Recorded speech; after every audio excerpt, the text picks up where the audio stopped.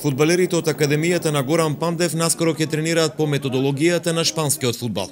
Искусниот Хосе Мануел Ембела од шпанска Валенсија, кој зад себе има 20 годишно искуство во работата со млади фудбалски таленти, деновиве ги едуцираше и обучуваше тренерите на Академија Пандев. Со нив работеше и теоретски и практично, пренесувајќи им го своето искуство. Вкупно 17 тренери од Академијата на Горан Пандев од Струмица, Штип и Охрид ги следе инструкциите на Ембела, кој важи за шпански експерт за работа со млади фудбалери.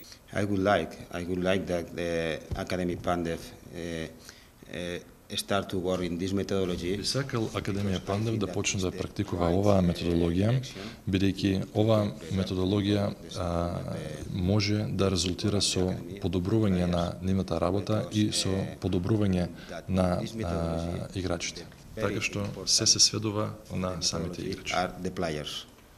Шпанскиот стратег им сугерираше на тренерите од академијата да стават акцент на теренската супериорност, држењето и ориентацијата на фудбалерите со носење брзи одлуки пред противникот. Координаторот Југослав Тренчелски смета дека шпанската методологија може да се применува во Струмица.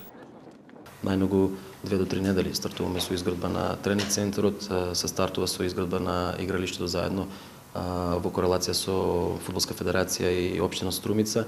Во блиска иднина јас верувам дека за најногу 6 месеци ќе добиеме два терни со вештачка трева, што всушност е интенција на господинот Хозе во изградбата значи на спортскиот центар да биде присутна вештачката трева, затоа што тоа е еден од предусловите за примена на шпанската методологија. Во Академија Пандев интензивно работат повеќе од 300 деца, како во Струмица, така и во филијалите во Штип и Охрид, кои се поделени во повеќе возрастни категории.